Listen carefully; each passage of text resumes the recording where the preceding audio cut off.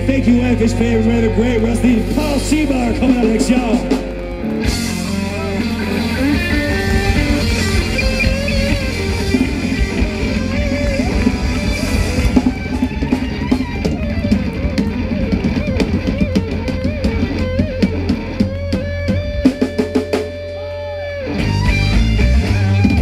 Thank you all for joining us. I'm Sarah Fayerick with listener supported 88.9 Radio Milwaukee. We are the media sponsor this year.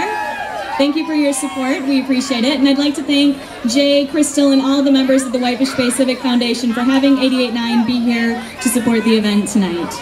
Joining me on stage is Jay Keene, the president of the Whitefish Bay Civic Foundation. Thank you, Sarah. At this time, we would like to acknowledge the top three sponsors of Sounds of Summer. Over the past 10 years, their sponsorship has There's been a vital. plucked from the sky, turning in a circle. There's a welter in his eye. It's just too much for him. The hoops are much too high. That's a better picture. Just sing a croon your side. Tell a good story, and I like how you begun.